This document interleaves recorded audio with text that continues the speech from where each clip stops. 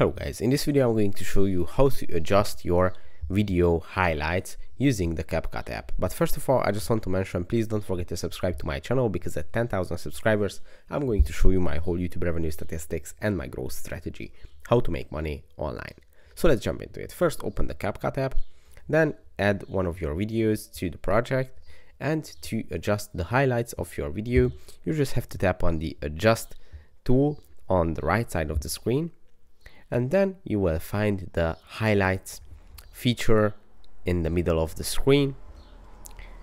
And with this slider you can increase or decrease the highlights of your video. As you can see it changes as I move this tool around. Let's change the video perspective. So yeah that's pretty much it how you can do it. I hope this video was helpful for you. If it was please consider subscribing and see you in the next one. Bye bye